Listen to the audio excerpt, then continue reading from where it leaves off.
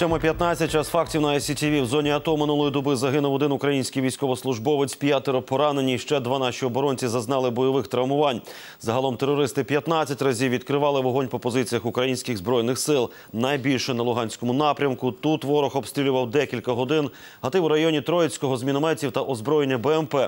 Неспокійно було також на околицях Кримського і Світлодарська. Захисників Катеринівки обстрілювали з протитанкового ракетного комплексу. На Донецькому напрямку епіцентром вогневої напруги стала приморська ділянка нашої оборони. Тут ворог застосував 120-мм міномети поблизу населених пунктів Лебединське і Ломакіне. Закон про деокупацію Донбасу посилить правову базу застосування збройних сил України для оборони держави. Про це заявив президент Петро Порошенко. За його словами, документ не порушує жодних міжнародних зобов'язань України, зокрема мінських угод. У законі Росію визнано як державу агресора, а також юридично визначено, що саме Російська Федерація окупувала наші території. Водночас цей закон посилює захист громадянських прав та свобод цивільного населення, яке проживає на Донбасі. На Одещині ще двоє людей померли від кору. Напередодні п'ятимісячна дитина. Це сталося внаслідок ускладнень. Планове щеплення проти кору дитині мали зробити у 12 місяців, але не встигли. Другий летальний випадок трапився раніше, однак підтвердили діагноз лише тепер. Хвороба передалася від матері до новонародженої дитини. Загалом з початку року в регіоні підтвердили 5 летальних випадків від ускладнень, які викликав кір. А в Україні захворіли понад 5 тисяч людей. Дві третини діти померли вже семеро.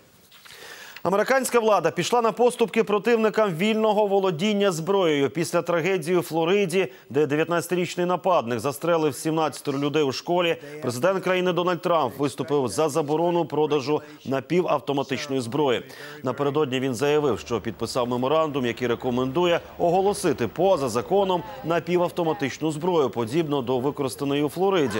Країною тим часом ширяться акції за посилення контролю над продажем зброї. Підлітки по всій країні проводять масові марші. Група учнів із постраждалої школи та їхні батьки прибули напередодні до столиці штату міста Талахассі. Їх зустрічали прихильники.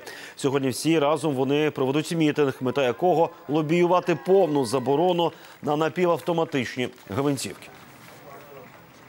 Фінляндія заманює до себе талановитих підприємців. Уже з квітня країна надаватиме спеціальні посвідки на проживання тим, хто пропонуватиме перспективні бізнес-ідеї.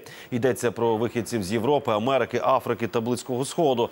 Фіни розраховують, що це допоможе покращити їхню економіку, адже багато з таких людей мають звання та навички е, роботи на великих ринках, які неможливо отримати у Фінляндії. Розраховують, що посвідки на проживання отримують до сотні груп талановитих іноземних підприємців. Цінність пропонованих ними проєктів визначатиме бізнес Фінленд. Спеціальна компанія створена шляхом злиття державного агентства підтримки інновацій та організації спросування бізнесу. Зокрема, вона аналізує стартапи та на предмет надання їм державного фінансування.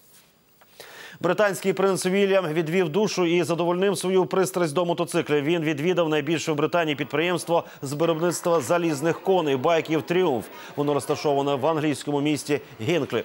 Принципові, е, о, точніше, принцові дали покататися на одній з останніх моделей. Онук королеви залишився задоволений вітчизняним мотоциклом. Під час подорожі він також відвідав технологічний парк, де ознайомився з новою розробкою спортивного авто.